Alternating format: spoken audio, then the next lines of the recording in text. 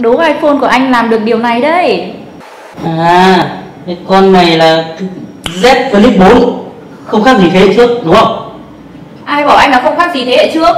Vậy thì em sẽ nói cho anh những điều khác bọt cực đỉnh của chiếc Galaxy Z Flip 4 này so với Galaxy Z Flip 3 nhé.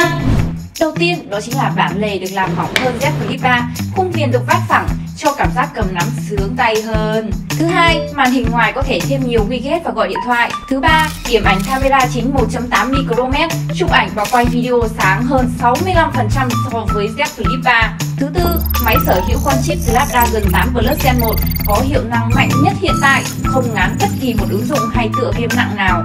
Thứ năm, viên pin có dung lượng là 3.700 mAh, dùng liên tục hơn 6 tiếng, sạc nhanh 25W, sạc không dây 15W. Đủ mới chưa anh? Mới, mới, mới, mới Mới rồi thì đứng dậy thanh toán thôi.